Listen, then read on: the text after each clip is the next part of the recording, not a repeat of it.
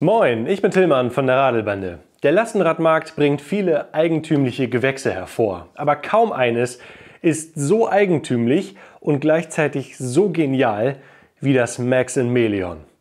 Und in diesem Video wollen wir uns dieses besondere Fahrrad einmal ganz genau ansehen.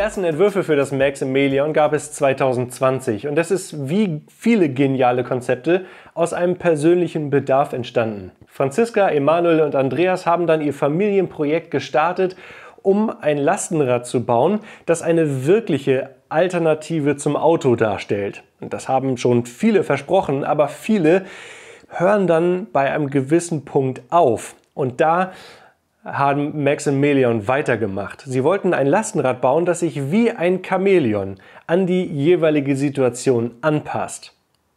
Denn mit diesem Bike kann man nicht nur Kinder oder Cargo transportieren, sondern auch Erwachsene.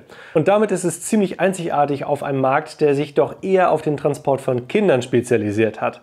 Aber sie wollten nicht nur Erwachsene mitnehmen können, sondern sie haben ihr Bike auch so ausgelegt, dass es speziell für die weibliche Mobilität ausgelegt ist. Und da sind einige sehr spannende Features, die wir in diesem Video einmal entdecken wollen. Das grundlegende Konzept und der Aufbau des Bikes ist ein Dreirad. Dreiräder haben den Vorteil einer größeren Stabilität und mehr Rädern auf dem Boden, aber sind in der Regel eher weniger agil. Deswegen hat Maximilian diesem Bike eine Neigetechnik spendiert und insgesamt entspricht das Rad so dem Aufbau eines Long John Lastenrads. Also kleines Rad bzw. kleine Räder vorne, in der Mitte die Box, dann das Cockpit und der Sattel und am Ende ein großes Hinterrad. Wenn wir mal diese Klappe hier öffnen, dann sehen wir, was das Fahrwerk vom Maximilian ausmacht. Und zwar echte Rennsporttechnik, nämlich ein liegender Dämpfer, eine sogenannte Push-Rod-Federung, dann hier zwei sehr massive Querlenker auf jeder Seite die Buchsen und die ganzen Verbindungen, das ist Fahrzeugtechnik aus dem Automobilbereich und sollte somit auch die schwereren Belastungen, die man mit diesem Fahrrad erreichen kann, langlebig durchhalten können. Diese Federung sorgt auf der einen Seite dafür, dass diese Neigetechnik funktioniert, auf der anderen Seite aber auch, dass beide Räder unabhängig voneinander einfedern können. Das heißt, wenn man auf der einen Seite über eine Unebenheit fährt, dann ist, das, dann ist die andere Seite davon nicht beeinflusst, sondern das rollt total sanft darüber. Und wie das genau funktioniert, was das dann nachher für Auswirkungen hat, das können wir nachher mal am Fahreindruck sehen. Und vielleicht ist euch auch dieses kleine Fach hier aufgefallen, das hier drunter versteckt ist. Hier ließen sich so Sachen verstauen, an die man nicht so häufig ran muss, wie zum Beispiel ein kleines Werkzeugset oder eine Luftpumpe. Ziemlich cool. Und irgendwie sieht sie auch ein bisschen so aus wie ein Chamäleon, oder? Hier mit den beiden Augen. Beim Rahmenmaterial setzt Maximilian auf hochwertigen Stahl. Der lässt sich relativ leicht beschaffen, er lässt sich leicht verarbeiten, er ist langlebig und lässt sich auch falls es mal notwendig sein sollte, leicht reparieren. Außerdem wird, werden alle Max Million Bikes in Deutschland produziert und zwar nicht nur zusammengebaut, sondern die Rahmen entstehen in Handarbeit in Stuttgart. Und überhaupt setzt Max Million alles daran, so viel wie möglich in Deutschland oder zumindest in Europa zu beschaffen. Hier auf der Rückseite des Bikes sehen wir einige Punkte, die den Alltag mit diesem Bike auch für kleinere, leichtere Personen so einfach wie möglich machen sollen. Auf der einen Seite einen sehr niedrigen Einstieg, über den man leicht rüberkommen kann, ein weit nach hinten geneigtes Sattelrohr, um kleineren und größeren Personen eine gute Sitzposition zu ermöglichen. Und dann auch ein Lenker, der hier weit nach hinten geneigt ist. Zum Lenker kommen wir gleich noch, aber hier ist noch ein cooles Detail mit diesem Fahrrad. Und zwar äh, die Sattelstütze, die sich leicht in der Höhe verstellen lässt, sodass man zum Beispiel, wenn man an eine Ampel ranfährt, schnell mal den Sattel runterstellen kann, mit beiden Beinen auf dem Boden stehen kann und wenn man dann weiterfahren möchte, macht man den Sattel einfach wieder hoch und kann entspannt weiterfahren. Ebenfalls auffällig sind diese sehr kurzen Kurbelarme. Ähm, besonders kleinere Personen kommen häufig nicht mit 170 oder sogar 175 mm Kurbelarm klar und deswegen hat Maximilian hier auf schön kurze Kurbelarme gesetzt. Der weit nach hinten geneigte Lenker sorgt erstmal dafür, dass die Person auf dem Sattel eine schön aufrechte Sitzposition hat, um einen guten Überblick über den Straßenverkehr zu erhalten. Aber auch natürlich ist er deswegen so weit nach hinten geneigt, damit die Person, die hier vorne sitzt, nicht die ganze Zeit den Lenker in den Rücken bekommt, wenn man irgendwelche Kurven fährt. Unfassbar praktisch sind diese beiden Fächer, die sich leicht hier vom Sattel aus erreichen lassen, um zum Beispiel eine Mütze irgendwo zu verstauen oder den Kaffeebecher, das Telefon oder auch die Schlosskette. Das sollten noch viel mehr Lastenräder haben. Bei den Bedienelementen hier im Cockpit finden sich einige Besonderheiten. Einmal fallen hier die großen Bremsgriffe auf mit den großen Ausgleichsbehältnissen. Die sind von der Fahrwerkerbremse, die speziell für große und schwere Fahrräder entwickelt wurde und mit dickeren Scheiben und Bremsbelegen auch eine bessere Haltbarkeit zeigen. Und wie gut die performen, das sehen wir nachher im Fahreindruck. Aber erstmal ist hier auffällig, das ist eine richtige Bremse, das ist ein richtiger Hebel und dieser Ausgleichsbehälter sorgt eben auch dafür, dass zwei Bremsen vorne ohne Probleme äh, gebremst werden können. An diesem kleinen Taster und Hebel kann die Neigefunktion entsperrt und auch wieder gesperrt werden. Dafür muss man so ein bisschen den richtigen Punkt finden und dann wackelt das Bike zwar noch ein bisschen hin und her, steht aber sicher. Auf der rechten Seite findet man dann die Feststellbremse. Das ist im Grunde ein Kunststoffhebel, so ein Kunststoffteil, äh, das den Bremshebel der Fahrwerkerbremse arretiert. Und die Bedienung ist eigentlich sehr einfach. Man klemmt das zuerst hier drüber, zieht dann den Hebel und nutzt den Zeigefinger, um den dann festzudrücken. Und schon steht das Rad richtig sicher und kann auch nicht wegrollen. Und zum Lösen des Ganzen muss man den Hebel ziemlich kräftig ziehen und kann dann wiederum mit dem Zeigefinger diese Kunststoffarretierung lösen. Und dann befindet sich hier ebenfalls das Sigma EOX-System. Um es anzuschalten, das Fahrrad, muss man hier unten beim Akku den Ein- und Ausschalter drücken. Dann meldet sich das System mit fünf LEDs, fährt einmal hoch. Let's go! Über dieses ganze System habe ich schon mal ein eigenes Video gemacht und seitdem hat sich auch nichts groß verändert. Ich verlinke euch das einmal hier oben irgendwo. Es gibt eine Lichtautomatik und mit diesen Schaltern kann man durch die vier verschiedenen Unterstützungsstufen schalten, die nicht weiter benamst sind. Und mit diesen Schaltern kann man sich einige Informationen anzeigen lassen, die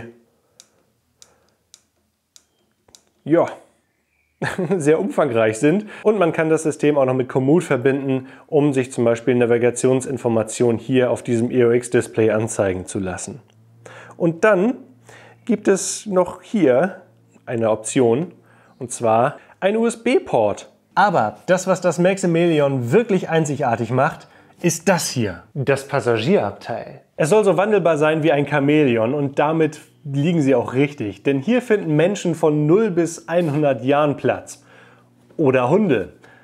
Oder Kisten. Das Kernstück ist natürlich dieser Aufbau, den wir schon von der Rückseite gesehen haben. Allerdings äh, gilt das auch nur für die Passenger-Version, also für die Version mit dieser Sitzbank. Es gibt auch noch verschiedene andere Aufbauten und dadurch, dass Maximilian eine Manufaktur ist, ließen sich auch individuelle Wünsche umsetzen, bis hin zu einem Rollstuhltransporter mit einer verlängerten Ladefläche. Hier in der Passagierversion ist das Ganze jetzt mit einem Metallrahmen eingefasst, aber dieses Teil ließe sich auch noch entfernen, sodass Menschen hier noch leichter einsteigen können. Aber so entsteht hier nochmal eine kleine Ladefläche. Die Sitzbank ist höher und breiter als bei jedem anderen Lastenrad, das ich bisher gesehen habe. Und die Sitzbank an sich besteht dann aus Holz, das auch noch hier sehr schön geformt ist. Überhaupt dieser ganze Aufbau hier vorne hat so ein bisschen Oldtimer-Vibes. Das sieht sehr klassisch aus, wie so eine alte Kutsche oder wie so ein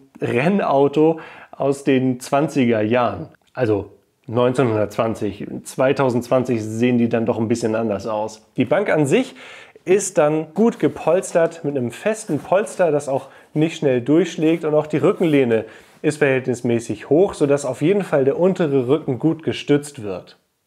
Damit bei scharfen Bremsungen man nicht vorne rausfliegt, ist das Ganze dann mit so einem Beckengurt ausgestattet, den die eine oder andere Person auch vielleicht aus dem Flugzeug kennt. Und was bei einem Flugzeug mit 700 km/h funktioniert, das funktioniert auch beim Lastenrad mit 25. Aber diese Bank eignet sich nicht nur für Erwachsene, sondern auch für Kinder. Und damit die mitgenommen werden können, lässt sich hier äh, noch ein Dreipunktgurt bestellen, mit dem auch kleinere Kinder dann hier oben angeschnallt werden können. Allerdings kann Maximilian auch wiederum viele andere Gurtsysteme realisieren und Lösungen, um zum Beispiel auch Erwachsene mit einem 5-Punkt-Gurt zum Beispiel anzuschnallen. Und auch wenn Kleinkinder oder sogar Babys mitgenommen werden sollen, bietet Maximilian eine Lösung an. Und zwar in Form einer Kleinkindbank, die dann nochmal eine deutlich höhere Rückenlehne bietet, deutlich tiefer hier im Rad montiert ist. Da ließen sich dann allerdings keine Erwachsenen mehr mitnehmen. Das Tolle an dieser Sitzbank ist aber auch das Platzangebot. Denn durch diese Höhe der Sitzbank ist hier unten ein Kofferraum. Dieser Kofferraum lässt sich auch abschließen und hier finden, findet nicht nur ein großer Rucksack Platz, sondern auch viele kleine. Und hier wäre auch noch Platz für einiges andere. Also das ist richtig geräumig. Aber hier endet es noch nicht. Denn wenn man den Rucksack rausnimmt, kann man auch diese Wand hier einfach entnehmen. Die sitzt ziemlich eng und dann gibt es noch Platz für eine Eurobox. Und hier ist sogar links und rechts noch sehr viel mehr Platz für alles Mögliche. Und hier könnte man das Ganze auch ganz schön hoch beladen und damit das Ladegut nicht hin und her poltert, gibt es hier noch so Verzurrösen, mit denen man Dinge dann verzurren kann. Wie der Name schon sagt. Diese Fläche hier vorne ist allerdings sehr offen, also keinerlei Windschutz. Was im Sommer ganz lustig ist, sich den Wind um die Nase wehen zu lassen, ist im Winter oder bei Regen schon etwas unangenehmer. Und da hat Maximilian aber auch mehrere Lösungen für. Auf der einen Seite holen wir jetzt mal so Houdini-mäßig das hier aus dem Kofferraum. Das habe ich eben nicht da reingetan. Herrlich, herrlich, du. Oh, schön. Diese Wetterdecke funktioniert richtig gut, um die Beine vor Kälte und vor Regen zu schützen, denn sie ist auf der Außenseite regen- und winddicht ausgeführt und auf der Innenseite dann noch so muckelig gefüttert. Das war sowohl für die Kinder als auch für den ein oder anderen Mitfahrenden richtig angenehm. Die ist aber nicht nur dann praktisch, wenn Menschen hier sitzen, sondern lässt sich auch dafür nutzen, um die Sitzbank bei Regen, wenn das Rad draußen steht, vor Nässe zu schützen. Für Kinder gibt es dann aber auch noch eine zweite Lösung nämlich ein richtiges, echtes Regenverdeck. Und das hat auch einige coole Details. Es lässt sich nicht so schnell montieren oder demontieren, wie das mit der Wetterdecke der Fall ist. Also wenn ihr vom Kindermodus in den Erwachsenentransportmodus gehen wollt, dann dauert es gut und gerne 5 bis 10 Minuten. Aber dafür ist dieses Wetterverdeck auch ziemlich cool. Denn auf der einen Seite habt ihr hier einen festen Rahmen oben drumherum, sodass es auch gut und gespannt sitzt, selbst wenn starker Wind von vorne kommt. Und dieses Wetterverdeck hält nämlich auch den Wind oder Regen von den Kindern ab. Hier rundherum sind große Fenster verbaut, sodass der Blick nach draußen weiterhin gegeben bleibt und auch starke Sonneneinstrahlung kann so ein bisschen verhindert werden, denn auf der einen Seite befindet sich hier oben eine Abdeckung, die eingerollt werden kann, um die Sonne von oben auf die kleinen Passagiere irgendwie wegzublocken. Und auch hier vorne gibt es ein Sonnenvisier, um halt die tiefstehende Sonne so ein bisschen von den Gesichtern der Kinder abzublocken. Das ist ein ziemlich cooles Detail. Wenn die Kinder ein- oder aussteigen wollen, dann kann man hier einfach den Reißverschluss öffnen, nimmt dann den Straps hier vorne ab und schon haben die Kinder eine große Tür, wo sie einsteigen können. Und auch als Eltern ist es verhältnismäßig einfach, hier reinzugreifen und dann die Gurte der Kinder zu schließen. Und wenn das Wetter richtig gut ist, das Regenverdeck aber drauf bleiben soll, dann kann man auch hier die Türen dann einfach ein bisschen, kann man auch schöner machen, ein bisschen einrollen. Dann zieht man das hier vorne fest. Dann hat man immer noch die Windschutzscheibe hier vorne mit diesem Sonnenschutz, aber trotzdem einen großen Durchlass, damit angenehm viel Luft reinkommen kann. Und wenn man nicht so viel Luft rein haben möchte, kann man das hier mit dem Reißverschluss auch so ein bisschen regulieren, wie viel Luft tatsächlich reinkommen soll. Damit die Kinder nicht ersticken, ist es hier auf der Rückseite allerdings komplett offen und dann kann man auch leichter mit den Kindern kommunizieren. Dieses Regenverdeck gibt dem Maximilian eine ganz andere Optik. Also aus dem sportlichen, schnittigen Rennwagen ist eine königliche Kutsche geworden. Aber dafür funktioniert es sehr gut. Das sind alle Details, Features und Besonderheiten vom Maximilian. Jetzt bauen wir das ja aber mal wieder ab und dann fahren wir eine Runde. Ja, wir. Wir deswegen, weil wir sind zu zweit. Hallo. Lea sitzt vorne auf dem Passagiersitz und ich hinten auf dem Sattel und wir wollen es nachher auch noch mal tauschen. Wir beginnen aber mal mit äh, dem Beschleunigungstest. Wir sind in der höchsten Unterstützungsstufe von den Vieren und anders als sonst sind wir nicht im kleinsten Gang, weil der ist doch sehr, sehr, sehr klein. Wir sind stattdessen im vierten Gang, weil im vierten habe ich in den letzten Wochen eigentlich immer gestartet. Und wir legen mal los.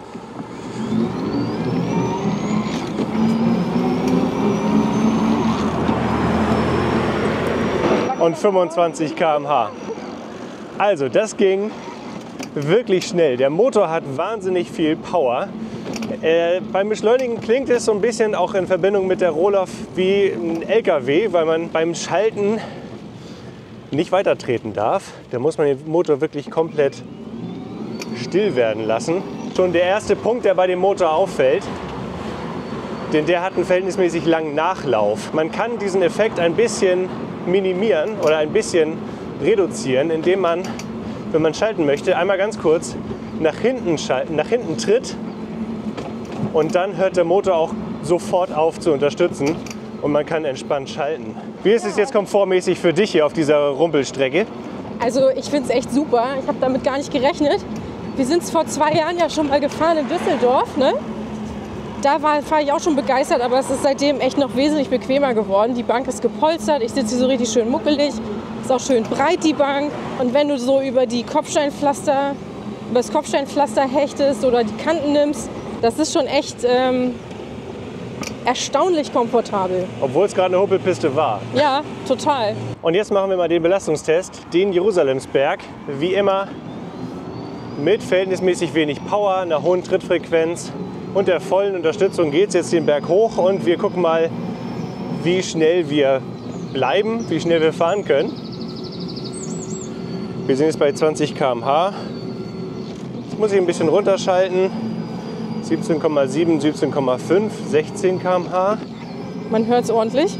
Genau, der Motor ist ordentlich am Arbeiten. Da ist so ein leichtes Quietschgeräusch. 14,4 km/h. Also der Motor hat richtig Power. Diese 112 Newtonmeter, die merkt man auch richtig. Und zwar nicht nur, wenn man berghoch fährt, sondern auch beim Anfahren. Merkst du eigentlich, ähm, wenn ich so in die Pedale trete? Also ich ähm, merke es nicht vom Gefühl, aber vom, von der Geräuschkulisse auf jeden Fall. Äh, und an, deinem, an deiner Atmung.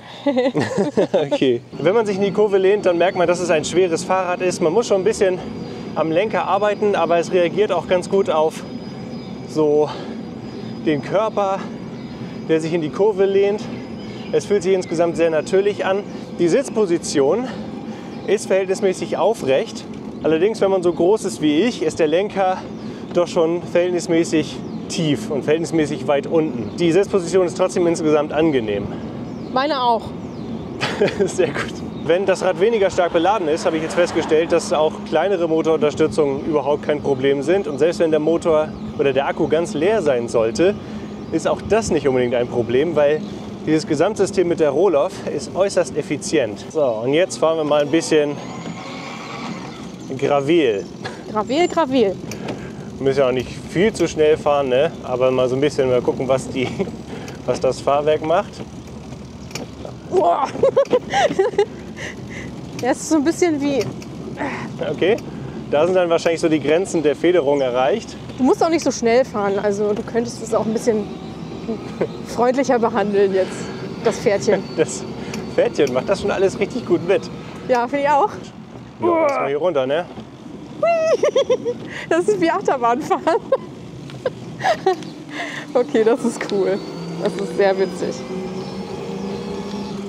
Und das Besondere auch hier wieder, wir machen natürlich den Berganfahrttest. Volle Unterstützung, wir sind im ersten Gang. Ich bin selber gespannt. Also, los geht's. Oh, wow. Das Okay, ist echt krass. der Wahnsinn. Ja, da habe ich nicht mit gerechnet. Du? Der Motor legt sofort los, der ist sofort da.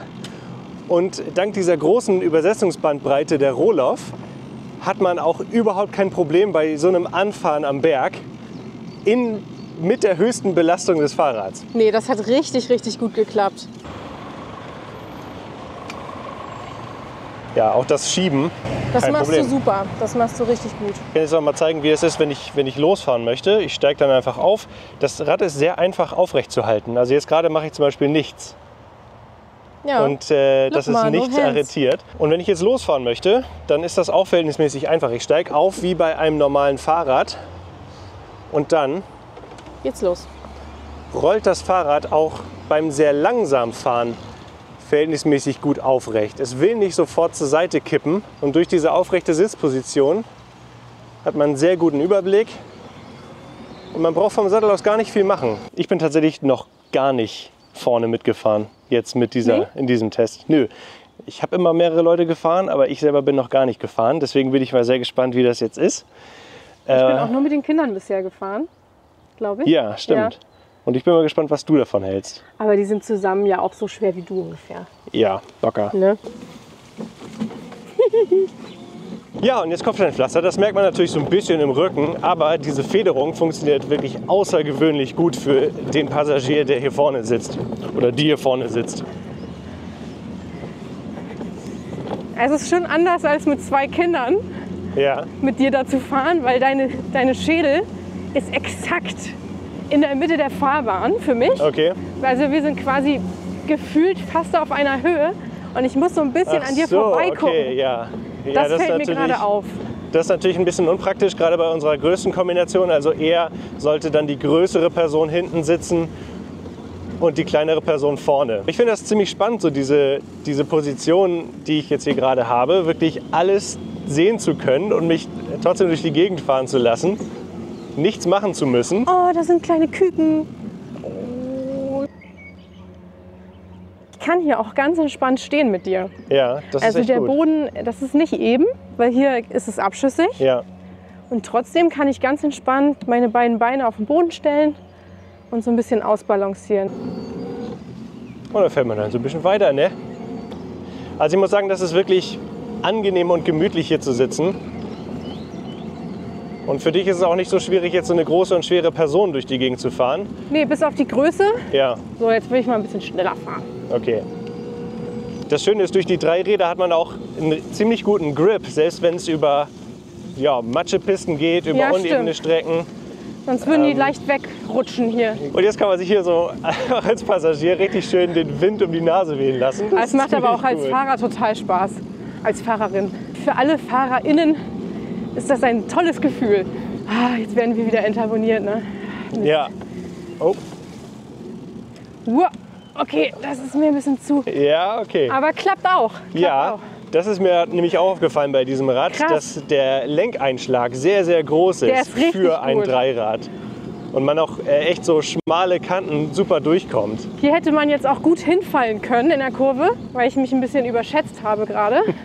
Aber das Rad hat das gut für mich ausgebügelt. Ja. Jetzt mit 1,96 Meter hocke ich natürlich schon so ein bisschen auf diesem Sitz. Hui. also das macht echt wahnsinnig viel Spaß. So, und wir machen jetzt den Bremstest. Und das ist natürlich immer ein ganz besonderer Test. Und hier ist auch eine ganz besondere Bremse verbaut, nämlich die Fahrwerkerbremse. Und da bin ich mal sehr gespannt, wie die uns jetzt gleich verzögert. Und jetzt. Jetzt. Oh. Und? Das ist aber echt gut. Wir haben jetzt einen Bremsweg. Äh, du hast etwas davor noch gebremst, vor diesem ersten Strich. Habe ich? Ja. Und wir haben jetzt einen Bremsweg von gut und gerne ja, 3,20 Meter oder so. Ist aber nicht viel. Das ist überhaupt nicht viel. Nee. Aber das ist halt auch der Vorteil bei so einer Bremse. Also die Bremse hat richtig Power. Und wir haben natürlich noch den Vorteil der drei Räder, durch die der, ähm, der Grip auch beim Bremsen nochmal deutlich erhöht ist. Das ähm, hat sich sehr gut ziehen lassen. Ich sag gerade ähm, für kleine Hände, es ließ sich gut greifen, man hat auch gut Druck drauf gekriegt. Ja. Ich würde allerdings für mich persönlich, wenn ich das Rad immer fahren würde, im Alltag mir die ein bisschen dichter ranziehen, Ja. sozusagen. Also schon recht weit weg vom Lenker. Genau, also ich muss schon sehr nach vorne greifen, weil ich das Ja. jetzt in dem Moment wusste, weil meine Handposition natürlich darauf Okay. eingestellt. Aber so an sich, also auch beim Bremsen hatte ich ein sehr, sehr sicheres Gefühl. Ja. Das Rad ist extrem stabil. Mir ist nichts weggeglitscht oder nichts, ja, wie sagt man, das ist nicht ins Schlingern geraten, das Nee, Rad. das ist- war das ist komplett einfach gerade. komplett gerade. Und ist auch sehr schnell zum Stehen gekommen. Ja. Also auch sofort, als ich gebremst habe, hat sich da eine Wirkung gezeigt. Und das Ja. ist ein ja, sehr vertrauenserweckendes Gefühl. Vertrauenerweckend, nicht vertrauenserweckend. Vertrauenserweckend. Vertrauenserweckendstes Gefühls. Also wie ist jetzt dein Eindruck von der Fahrt mit dem Maximilian? Also ich bin echt äh, total begeistert. Kann es echt nicht anders sagen. Ich finde es so, so cool, was dieses Rad schafft. Und ähm, ja, auch die Kombi, ne? dass wir einfach uns abwechseln konnten. Ja. Ich dich fahren konnte, du mich fahren konntest. Das war beides aus beiden Perspektiven überhaupt nicht schwierig. Keine große Umgewöhnung. Klar, wenn man von Das- anderen Rädern meine ich ja, das Rad macht einfach unglaublich viel Spaß, weil Ja. der Motor so kräftig ist und man sich voll und ganz auch auf das Rad verlassen kann. Also das fand ich besonders toll, dass gerade wenn, wenn ich jetzt in meinem Fall ähm, dich rumtransportiere, da muss ich schon echt Vertrauen in das Rad haben, damit Ja. ähm, ich auch Spaß daran habe und ich habe wirklich zu keinem Zeitpunkt bei der Fahrt, egal welcher Untergrund oder welche Kehren oder was weiß ich, ähm, Angst gehabt, dass ich umfallen könnte oder so, was Ja. bei anderen Dreirädern häufig bei mir der Fall ist. Also ich fahre sonst nicht gerne Dreirad. Ähm, Ja. Und das, das hat echt richtig, richtig viel Spaß gemacht. So, wir wechseln jetzt ins Studio zurück und dann erzählt Tilman euch ein bisschen was zu unseren Erfahrungen und zu unserem Fazit. Und ich verabschiede mich an dieser Stelle. Tschüss. Drei Wochen lang waren wir mit dem Max Melion jetzt im Alltag unterwegs und in diesem letzten Teil des Videos wollen wir mal ein bisschen Fazit ziehen. Ihr findet die komplette Bewertung anhand der Radelbande Bewertungsmatrix über den Link unten in der Videobeschreibung auf radelbande.de.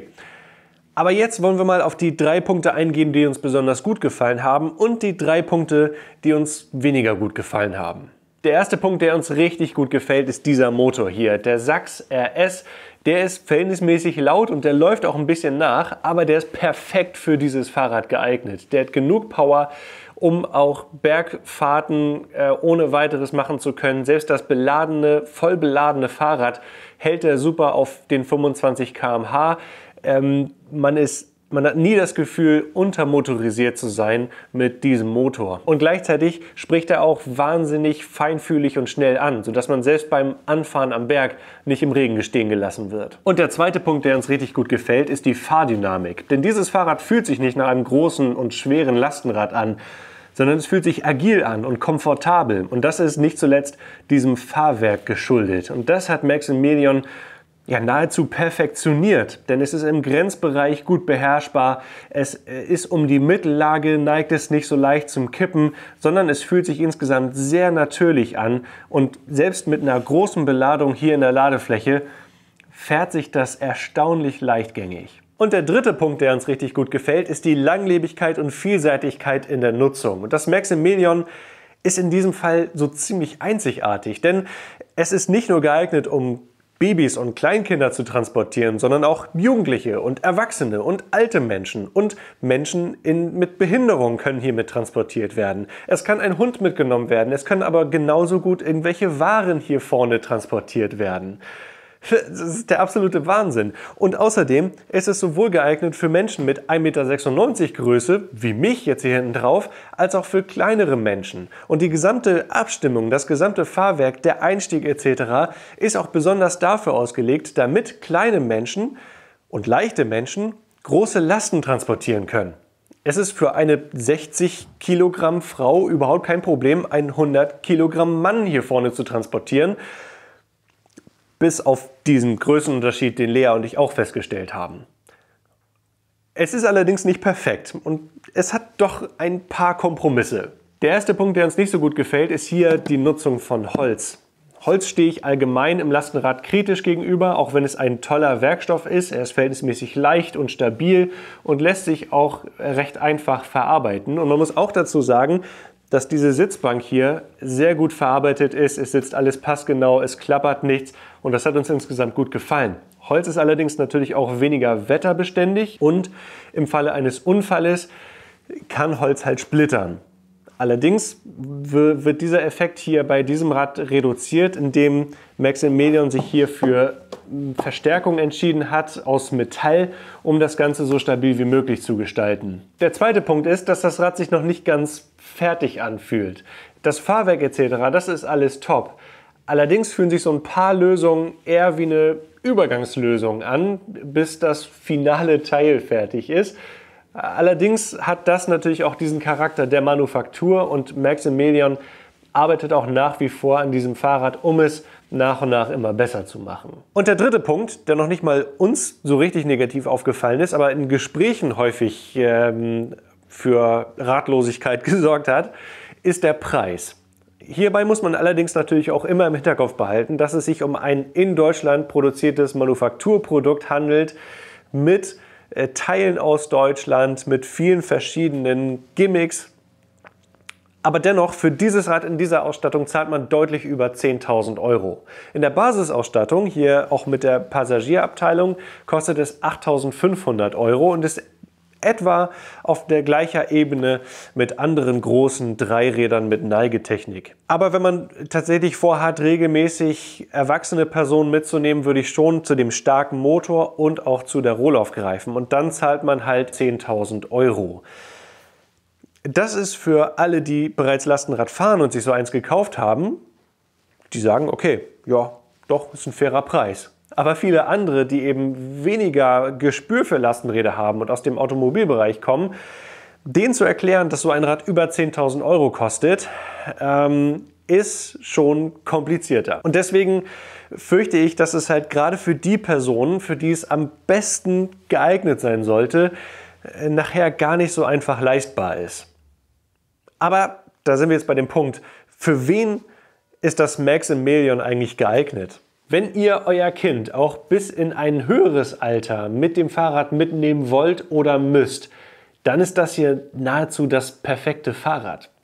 Egal ob drei Jahre, 13, 33 oder 63 Jahre, Menschen finden hier ganz einfach Platz. Und das gilt auch für alle mit körperlichen oder geistigen Beeinträchtigungen. Für diese Zwecke ist dieses Bike wirklich optimal, denn egal ob ihr eure Großmutter oder euren Großvater ab und zu mal mit dem Fahrrad mitnehmen wollt oder eben verschiedenste äh, Kinder auch in verschiedenen Größenkombinationen, das funktioniert mit diesem Fahrrad hervorragend. Und das funktioniert mit keinem anderen Fahrrad so gut wie mit diesem hier, weil hier ist noch diese Federung dabei, hier ist dieses Neige, äh, diese Neigetechnik mit drin, die die meisten Fahrräder eben nicht bieten, die die Möglichkeit hätten, auch Erwachsene mitzunehmen. Und das macht das Maximilian im Endeffekt zu dem besten Lastenrad, was wir bisher getestet haben.